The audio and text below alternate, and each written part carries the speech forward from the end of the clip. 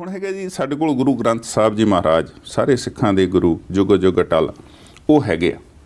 ਤੇ ਉਹ ਸਿੱਖ ਦੇ ਹਰ ਸਵਾਲ ਦਾ ਜਵਾਬ ਵੀ ਦਿੰਦੇ ਆ। ਹਾਂਜੀ। ਸਾਡਾ ਭਾਵੇਂ ਅਧਿਆਤਮਿਕ ਸਵਾਲ ਹੈ ਸਾਡਾ ਕੋਈ ਡੇਲੀ ਜ਼ਿੰਦਗੀ ਦਾ ਸਵਾਲ ਹੋਵੇ ਉਹ ਸਾਨੂੰ ਜਵਾਬ ਗੁਰੂ ਗ੍ਰੰਥ ਸਾਹਿਬ ਤੋਂ ਮਿਲ ਜਾਂਦਾ। ਹੁਣ ਜਿਹੜੇ ਦਸਮ ਗ੍ਰੰਥ ਆ ਕੀ ਇਹ ਗੁਰੂ ਗ੍ਰੰਥ ਸਾਹਿਬ ਦਾ ਹੀ ਉਲੱਥੇ ਵਰਗੀ ਗੱਲ ਆ ਜਾਂ ਟੋਟਲੀ ਇੱਕ ਵੱਖਰੀ ਉਹ ਚੀਜ਼ ਆ? ਦੇਖੋ ਉਹਦੇ ਵਿੱਚ ਬਹੁਤ ਕੁਝ ਭਿੰਨ ਵੀ ਹੈ। ਅੱਛਾ ਜੀ। ਜਿਹੜੀ ਤਾਂ ਅਧਿਆਤਮਕ ਬਾਣੀ ਹੈ। ਹਾਂਜੀ। ਚਾਹੇ ਜਾਪ ਸਾਹਿਬ ਹੈ 33 ਸਵਈਏ ਹੈ। ਹਾਂਜੀ। ਗਿਆਨ ਪ੍ਰਬੋਧ ਹੈ। ਚੌਪੀ ਹੈ। ਹਾਂਜੀ। ਇਹ ਰੂਹਾਨੀਅਤ ਵਾਲੀ ਬਾਣੀ ਹੈ। ਗੁਰੂ ਪੰਥ ਨੇ ਇਸੇ ਲਈ ਉਹਨੂੰ ਉਸੇ ਦਰਜੇ ਤੇ ਹੀ ਰੱਖਿਆ। ਠੀਕ ਹੈ। ਗੁਟਕਿਆਂ ਵਿੱਚ ਜਪਜੀ ਸਾਹਿਬ ਤੋਂ ਬਾਅਦ ਜਾਪ ਸਾਹਿਬ। ਸਵਈਏ ਚੌਪੀ। ਰਹਿ ਰਾਸ ਵਿੱਚ ਵੀ। ਅਰਦਾਸ ਵਿੱਚ ਵੀ ਸ਼ਮੂਲੀਅਤ। ਕੀਤੀ। ਉਹਦਾ ਇੱਕ ਰੂਹਾਨੀਅਤ ਦਾ ਪੱਖ ਹੈ। ਠੀਕ ਹੈ ਉਹਦੇ ਵਿੱਚ ਕੋਈ ਵੀ ਇਹੋ ਜੀ ਗੱਲ ਨਹੀਂ ਜਿਹੜੀ ਕੋਈ ਬੰਦਾ ਕਵੇ ਕਿ ਆਹ ਸ਼ਬਦ ਦੇ ਉੱਤੇ ਮੈਨੂੰ ਕਿੰਤੂ ਹੋ ਸਕਦਾ ਹੈ। ਇਹ ਇੱਕ ਬਿਲਕੁਲ ਐਵੇਂ ਖਾਮ ਖਾ ਦਾ ਜਿਹਨੂੰ ਪੰਜਾਬੀ ਚ ਕਹਿੰਦੇ ਟੈਂਡ ਚ ਕਰਨਾ ਕੁਝ ਲੋਕਾਂ ਨੇ ਪਾਇਆ। ਉਹਦੇ ਵਿੱਚ ਕਿਤੇ ਸਿੱਖ ਫਲਸਫੇ ਦਾ ਤੁਹਾਨੂੰ ਕੋਈ ਵੈਸੇ ਸਾਰੇ ਦਸਮ ਗ੍ਰੰਥ ਵਿੱਚ ਕਿਤੇ ਵੀ ਸਿੱਖ ਫਲਸਫੇ ਦੇ ਵਿਰੋਧ ਵਾਲੀ ਇੱਕ ਸ਼ਬਦ ਵੀ ਨਹੀਂ ਹੈਗਾ। ਠੀਕ ਹੈ ਜੀ। ਜਿੱਥੋਂ ਤੱਕ ਹੈਗਾ ਵੀ ਉਹਦਾ ਕੁਝ ਇਤਿਹਾਸਕ ਪੱਖ ਵੀ ਹੈ। ਠੀਕ ਹੈ ਜੀ। ਨੌਵੇਂ ਪਾਤਸ਼ਾਹ ਦੀ ਸ਼ਹੀਦੀ ਦਾ ਵੇਰਵਾ ਹੈ। ਠੀਕ ਹੈ ਜੀ। ਨਦਾਉਣ ਦਾ ਯੁੱਧ ਹੈ ਭੰਗਾਣੀ ਦਾ ਯੁੱਧ ਹੈ ਚੌਹਾਂ ਸਾਹਿਬਜ਼ਾਦਿਆਂ ਦੀ ਸ਼ਹੀਦੀ ਦਾ ਵੇਰਵਾ ਹੈ। ਜ਼ਫਰਨਾਮੇ ਦੇ ਵਿੱਚ ਆਪਾਂ ਗੱਲ ਕਰਾਂਗੇ। ਚਮਕੌਰ ਸਾਹਿਬ ਦੇ ਸਾਕੇ ਦਾ ਵੇਰਵਾ ਹੈ। ਹਾਂਜੀ। ਸਤਿਗੁਰਾਂ ਦਾ ਪ੍ਰਕਾਸ਼ ਦਾ ਵੇਰਵਾ ਹੈ। ਜੀ। ਉਹ ਉਹ ਵੀ ਉਹਦਾ ਇੱਕ ਪੱਖ ਹੈ। ਉਹਦੇ ਵਿੱਚ ਫਤਿਹ ਦਾ ਖਤ ਵੀ ਹੈ। ਠੀਕ ਹੈ ਪਰ ਉਹਦੇ ਵਿੱਚ ਜਿਹੜੀ 24 ਅਵਤਾਰਾਂ ਦੀ ਕਥਾ ਹੈ ਹਾਂਜੀ।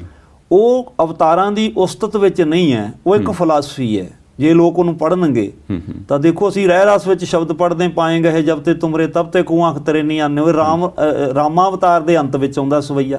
ਠੀਕ ਹੈ ਜੀ। ਰਾਮ ਰਹੀਮ ਪੁਰਾਨ ਕੁਰਾਨ ਅਨੇਕ ਕਹੇ ਮਤ ਏਕ ਨਾ ਮਾਨਿਓ। ਗੁਰੂ ਗੋਬਿੰਦ ਸਿੰਘ ਮਹਾਰਾਜ ਜੀ ਨੇ ਇੱਥੇ ਮੋਹਰ ਲਾ ਦਿੱਤੀ ਕਿ ਪਤਾ 21ਵੀਂ ਸਦੀ ਵਿੱਚ ਕੋਈ ਸ਼ੰਕਾਵਾਦੀ ਸਿੱਖ ਉੱਠਣਗੇ ਹੂੰ। ਤੇ ਉਹ ਇੱਥੇ ਸਵਾਲ ਕਰਨਗੇ। ਹੂੰ। ਆਹ ਸਵਈਆ ਉੱਥੇ ਪਿਆ ਜੇ ਜਿਹੜਾ ਪੁਰੂ ਪੰਥ ਨੇ ਰਹਿ ਰਸ ਵਿੱਚ ਸ਼ਾਮਲ ਕਰ ਲਿਆ। ਸ਼੍ਰੀ ਰਾਮਾ ਅਵਤਾਰ ਦੇ ਵਿੱਚ ਆ ਹਾਂਜੀ। ਤੇ ਉਹਦੇ ਵਿੱਚ ਲਿਖਿਆ ਪਈ ਇਹਨਾਂ ਨੂੰ ਅਸੀਂ ਮੰਨਦੇ ਨਹੀਂ ਨਹੀਂ ਮੰਨਦੇ ਅੱਛਾ ਹੁਣ ਠੀਕ ਉਹਦਾ ਕਥਾ ਵੀ ਸੁਣਾਤੀ ਹੈ। ਆਪਣੀ ਗੱਲ ਵੀ ਕੀਤੀ ਹੈ। ਉਹ ਇੱਕ ਪਾਤਰ ਨੂੰ। ਠੀਕ ਹੈ। ਪਿਆਰਾ ਸਿੰਘ ਪਦਮ ਇਹਦੇ ਬਾਰੇ ਬੜਾ ਪਿਆਰਾ ਲਿਖਦੇ ਹੁੰਦੇ ਸਨ ਕਿ ਗੁਰੂ ਗੋਬਿੰਦ ਸਿੰਘ ਮਹਾਰਾਜ ਜੀ ਨੇ ਹਿੰਦੁਸਤਾਨੀ ਲੋਕਾਂ ਨੂੰ ਪ੍ਰੇਰਿਆ ਕਿ ਉਹ ਦੁਨੀਆ ਦੇ ਲੋਕੋ ਤੁਸੀਂ ਔਰੰਗਜ਼ੇਬ ਦੇ ਜਾਂ ਸਮੁੱਚੇ ਜ਼ਬਰ ਜ਼ੁਲਮ ਦੇ ਅੱਗੇ ਝੁੱਕ ਕੇ ਬੈਠ ਗਏ ਹੋ ਪਰ ਜਿਨ੍ਹਾਂ ਵੱਡਿਆਂ ਵਡੇਰਿਆਂ ਨੂੰ ਤੁਸੀਂ ਆਪਣੇ ਅਵਤਾਰ ਮੰਨਦੇ ਹੋ ਉਹਨਾਂ ਨੇ ਸੱਚ ਵਾਸਤੇ ਯੁੱਧ ਵੀ ਕੀਤੇ ਨੇ ਤੇਗਾਂ ਵੀ ਚੱਕੀਆਂ ਨੇ। ਠੀਕ ਹੈ ਉਹ ਇੱਕ ਸਮਝਾਉਣ ਦਾ ਢੰਗ ਹੈ। ਠੀਕ ਹੈ ਜੀ। ਇਹ ਹੁਣ ਸਮਝਣ ਵਾਲੇ ਤੇ ਨਿਰਭਰ ਕਰਦਾ ਹੈ ਠੀਕ ਹੈ ਜੀ। ਕਿ ਉਹ ਉਹਨੂੰ ਕਿਸ ਨਜ਼ਰੀਏ ਤੋਂ ਪੜ ਰਿਹਾ ਹੈਗਾ। ਕਈ ਵਾਰੀ ਬੰਦਾ ਪੜਦਾ ਨਹੀਂ ਹੈ। ਟਾਈਟਲ ਪੜ ਕੇ ਹੀ ਲੜਨਾ ਸ਼ੁਰੂ ਕਰ ਦਿੰਦਾ, ਵੈਸੇ ਵੀ। ਸਾਡੇ ਸਿੱਖ ਸਮਾਜ ਵਿੱਚ ਕੁਝ ਲੋਕ ਸਿਰਫ ਖਬਰਾਂ ਪੜ ਕੇ ਬਹਿਸ ਕਰ ਰਹੇ ਨੇ ਜਾਂ। ਕੋਈ ਅਖਬਾਰ ਪੜ੍ਹਦੇ ਨੇ। ਜਾਂ ਕੋਈ ਖਬਰ ਪੜ੍ਹਦੇ ਨੇ ਜਾਂ WhatsApp ਤੋਂ ਇੱਕ ਛੋਟਾ ਜਿਹਾ ਕੋਈ ਮਾੜੀ ਮੋਟੀ ਸਟੇਟਮੈਂਟ ਲੈ ਲੈਂਦੇ ਨੇ। ਤਾਂ ਫਿਰ ਝੰਡਾ ਚੱਕ ਦਿੰਦੇ ਨੇ। ਇਹ ਜਿਹੜੇ ਗ੍ਰੰਥ ਨੇ ਸਹਿਜ ਨਾਲ ਵੇਖੋ ਗ੍ਰੰਥ ਤੇ ਸਾਡੇ ਮੈਂ ਪਹਿਲਾਂ ਕਿਹਾ ਗੁਰੂ ਗ੍ਰੰਥ ਸਾਹਿਬ ਮਹਾਰਾਜ ਜੀ ਦੀ ਹਜ਼ੂਰੀ 'ਚ ਜਾਂ ਤਾਬਿਆ 'ਚ ਜੀ ਸਾਡੇ ਜਿਹੜੇ ਸਰੋਤ ਗ੍ਰੰਥ ਨੇ ਉਹ ਤਾਂ ਬਹੁਤ ਵੱਡੀ ਗਿਣਤੀ 'ਚ ਨੇ ਚਾਹੇ ਸਾਡੀਆਂ ਜਨਮ ਸਾਖੀਆਂ ਨੇ ਚਾਰ ਜਨਮ ਸਾਖੀਆਂ ਨੇ ਬਿਲਕੁਲ ਜੀ ਫਿਰ ਸੂਰਜ ਪ੍ਰਕਾਸ਼ ਹੈ ਫਿਰ ਰਤਨ ਸਿੰਘ ਭੰਗੂ ਦਾ ਪੰਥ ਪ੍ਰਕਾਸ਼ ਹੈ। ਗਿਆਨੀ ਗਿਆਨ ਸਿੰਘ ਜੀ ਦਾ ਹੈ। ਫਿਰ ਸਾਡੇ ਰਹਿਤਨਾਮੇ ਨੇ ਫਿਰ ਸਾਡਾ ਭਾਈ ਨੰਦ ਲਾਲ ਜੀ ਅਸੀਂ ਗਾਇਨ ਕਰਦੇ ਜੀ। ਭਾਈ ਗੁਰਦਾਸ ਜੀ ਨੂੰ ਕਰਦੇ ਹਾਂ ਦਸਮ ਗ੍ਰੰਥ ਪੜ੍ਹਦੇ ਹਾਂਜੀ। ਫਿਰ ਸਾਡੇ ਇਤਿਹਾਸਕ ਸਰੋਤ ਗ੍ਰੰਥ ਬਹੁਤ ਵੱਡਾ ਭੰਡਾਰ ਹੈ।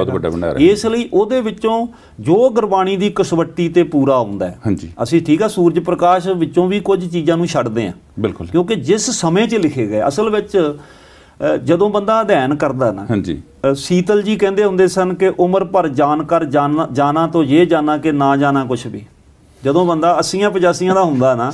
ਉਦੋਂ ਉਹਨੂੰ ਲੱਗਦਾ ਵੀ ਮੈਨੂੰ ਯਾਰ ਬਹੁਤ ਕੁਝ ਆਉਂਦਾ ਨਹੀਂ ਹੈ। ਉਮਰ ਭਰ ਐਵੇਂ ਕਹਿੰਦੇ ਰਹੇ ਵੀ ਬਹੁਤ ਕੁਝ ਆਉਂਦਾ।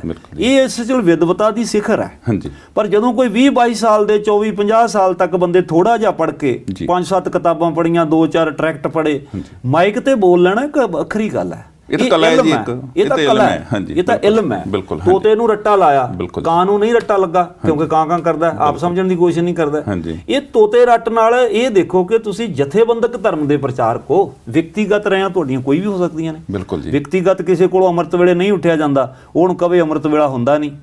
ਵਿਅਕਤੀਗਤ ਤੌਰ ਤੇ ਕੋਈ ਨਹੀਂ ਅੰਮ੍ਰਿਤਧਾਰੀ ਉਹ ਕਵੇ ਅੰਮ੍ਰਿਤ ਹੁੰਦਾ ਨਹੀਂ। ਇਹ ਉਹਦੀ ਨਿੱਜੀ ਮਜਬੂਰੀ ਹੈ। ਠੀਕ ਹੈ ਜਦੋਂ ਸਾਡੀ ਨਿੱਜੀ ਸੋਚਾਂ ਨੂੰ ਅਸੀਂ ਜਥੇਬੰਦੀ ਤੇ ਠੋਸਦੇ ਹਾਂ। ਜੀ। ਕਿਸੇ ਨਲਾਇਕ ਬੱਚੇ ਨੂੰ ਮੈਥ ਨਹੀਂ ਸਮਝ ਆਇਆ ਉਹ ਕਵੇ ਮੈਥ ਤਾਂ ਸਾਰਾ ਹੀ ਗਲਤ ਹੈ ਨਹੀਂ ਸੀ ਲਾਉਣਾ ਚਾਹੀਦਾ। ਸਹੀ ਜੀ। ਕਿਸੇ ਨੂੰ ਵਰਬ ਫਾਰਮਾਂ ਨਹੀਂ ਆਉਂਦੀਆਂ ਉਹ ਕਵੇ ਅੰਗਰੇਜ਼ੀ ਵੀ ਗਲਤ ਹੈ। ਇਹ ਬੱਚੇ ਦੀ ਮਜਬੂਰੀ ਹੈ। ਜਾਂ ਟਿਊਸ਼ਨ ਰੱਖੇ ਜਾਂ ਪੜ੍ਹਨ ਦੀ ਕੋਸ਼ਿਸ਼ ਕਰੇ ਪਰ ਉਹ ਸਿਲੇਬਸ ਦੇ ਉੱਤੇ ਅਟੈਕ ਕਰਨ ਦੀ ਕੋਸ਼ਿਸ਼ ਕਰਦਾ ਉਹ ਇੱਕ ਸੰਸਥਾ ਨੂੰ ਰੱਦ ਕਰਨ ਦੀ ਕੋਸ਼ਿਸ਼ ਕਰਦਾ ਇਸ ਲਈ ਸੰਸਥਾ ਨੂੰ ਜਾਂ ਜਥੇਬੰਦੀ ਨੂੰ ਜਾਂ ਗ੍ਰੰਥ ਨੂੰ ਰੱਦ ਕਰਨ ਦੀ ਥਾਂ ਤੇ ਅਰਦਾਸ ਕਰੇ ਕਿ ਸੇਈ ਪਿਆਰੇ ਮਿਲੋ ਜਿਨ੍ਹਾਂ ਮਿਲਿਆ ਤੇਰਾ ਨਾਮ ਚਿਤਾਵੇ ਕੋਈ ਇਹੋ ਜਿਹੇ ਗੁਰਮੁਖ ਪਿਆਰੇ ਮਿਲ ਦਿਓ ਜਿਹੜੀ ਇਸ ਘੁੰਡੀ ਦਾ ਹੱਲ ਕਰ ਸਕਣ। ਔਰ ਉਹ ਕੁੰਡੀਆਂ ਇਹਦੇ ਵਿੱਚ ਹੈਗੀਆਂ ਨੇ। ਇਸ ਕਰਕੇ ਇਹਦੇ ਵਿੱਚ ਇਤਰਾਜ਼ਯੋਗ ਕੁਝ ਨਹੀਂ ਹੈ। ਇਹ ਠੀਕ ਆ ਵੀ ਕੁਝ ਸਹਿਤ ਹੈ। ਜਿਹੜਾ ਸਹਿਤ ਆ ਉਹਨੂੰ ਬਾਣੀ ਨਾ ਮੰਨੋ। ਉਹਨੂੰ ਸਹਿਤ ਰੂਪ ਦੇਖੋ ਕਿ ਉਸ ਸਦੀ ਵਿੱਚ ਹੂੰ। ਵੀ ਤੁਸੀਂ ਕਿਸੇ ਲਿਟਰੇਚਰ ਨੂੰ ਕਿਸ ਨਜ਼ਰੀਏ ਤੋਂ ਪੜ੍ਹਦੇ ਹੋ? ਜਿਵੇਂ ਚਰਿੱਤਰੋਪਾਖਿਆਨੀ ਆ ਸਾਡਾ ਹੁਣ ਬਹੁਤ ਗਣਤੀ ਜਿਹੜਾ ਰੌਲਾ ਹੈ ਉਹ ਚਰਿੱਤਰੋਪਾਖਿਆਨ ਤੇ ਹੈ। ਇਹ ਕਥਾਵਾਂ ਨੇ। ਇਹ ਭੂਪ ਮੰਤਰੀ ਸੰਵਾਦ ਹੈ। ਮੰਤਰੀ ਜਿਹੜੇ ਰਾਜੇ ਨੂੰ ਕਿਉਂਕਿ ਪੂਰਨ ਭਗਤ ਵਾਕਣੀ ਕਥਾ ਚੱਲਦੀ ਸਟਾਰਟਿੰਗ ਵਿੱਚ ਠੀਕ ਹੈ। ਫਿਰ ਮੰਤਰੀ ਰਾਜੇ ਨੂੰ ਕਥਾਵਾਂ ਸੁਣਾਉਂਦੇ ਨੇ। ਉਹ ਕਥਾਵਾਂ ਬਹਾਦਰ ਇਸਤਰੀਆਂ ਦੀਆਂ ਵੀ ਨੇ ਉਹ ਮਰਦਾਂ ਦੀਆਂ ਵੀ ਨੇ ਉਹ ਉਹ ਇੱਕ ਜਿਹੜੀਆਂ ਕਿਤੇ ਦੋ ਚਾਰ ਤਿੰਨ ਚਾਰ ਦੇ ਵਿੱਚ ਕਾਮ ਦੀਆਂ ਵੀ ਨੇ। ਪਰ ਮੈਕਸਿਮਮ ਉਹ ਕੋਈ ਕਾਮ ਨਾਲ ਸੰਬੰਧਿਤ ਨਹੀਂ ਜੋ ਅਸੀਂ ਪ੍ਰਚਾਰ ਰਹੇ ਹੈਗੇ ਆ ਉਹਦੇ ਵਿੱਚ ਬਹੁਤ ਡੂੰਘੀਆਂ ਡੂੰਘੀਆਂ ਕਥਾਵਾਂ ਨੇ ਜਿਹੜੀਆਂ ਵੀ ਉਹ ਤਾਂ ਸਿੱਖਿਆ ਪ੍ਰਚਾਰ ਹੁੰਦਾ ਜੀ ਵੀ ਇਦਾਂ ਉਹ ਤੇ ਗੋਲਧਾਰਾ ਬਾਹ ਕੇ ਵੀ ਉਹ ਫਿਰ ਉਹ ਫੇਸਬੁੱਕ ਤੇ ਪਾ ਦਿੱਤਾ ਹਾਂ ਜਾਂਦਾ। ਮਤਲਬ ਸਾਡੇ ਤਾਂ ਇਹ ਨਾ ਵੀ ਗ੍ਰੰਥ 1428 ਪੰਨਿਆਂ ਦੇ ਗ੍ਰੰਥ ਵਿੱਚੋਂ ਇੱਕ ਪੰਨੇ ਨੂੰ ਗੋਲ ਘਤੈਰਾ ਵਾ ਕੇ ਤੇ ਅਸੀਂ ਕਹਿ ਦਈਏ। ਉਹ ਤੁਸੀਂ। ਪੰਕਤੀ ਤਾਂ ਕਿਸੇ ਬੰਦੇ ਚੋਂ ਵੀ ਕੱਢ ਲਓ ਤੇ ਕਿ- ਕਿਸੇ ਪੁਸਤਕ ਚੋਂ ਕੱਢ ਲਓ ਕਿਤੋਂ ਵੀ ਕੱਢ ਲਓ ਉਹ ਉਹ ਕੋਈ ਡਿਨੀ ਇਹ ਹੁੰਦਾ ਕਿ ਕਹਾਣੀ ਜਿਹੜੀ ਕਥਾ ਹੁੰਦੀ ਹੈ, ਇਹਨੂੰ ਕੰਟੀਨਿਊ ਪੜੋਗੇ ਇਹਦਾ ਕੋਈ ਮਤਲਬ ਹੈ। ਠੀਕ ਹੈ ਜੀ। ਔਰ ਇਹਦਾ ਸਿੱਟੇ ਦਾ ਮਤਲਬ ਹੁੰਦਾ ਹੈ।